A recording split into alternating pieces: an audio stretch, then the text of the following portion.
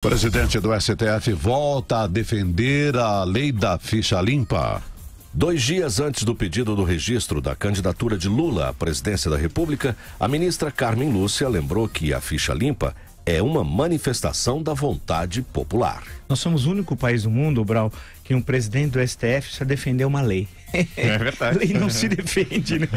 É inacreditável. Mas esse é a terra de Pindorama, a terra dos papagaios, a ilha da Veracruz, vários nomes que o Brasil teve logo no início ali do século XVI e tal. Você não precisa defender, a lei existe, tem de ser cumprida. E foi sancionada pelo próprio Lula lá atrás, em 2010, né? Ou seja, Isso. ele sancionou e agora ele deve ser uma das vítimas. Claro, claro, a lei tá lá, então não precisa ninguém ficar defendendo a lei. Lei é lei e acabou.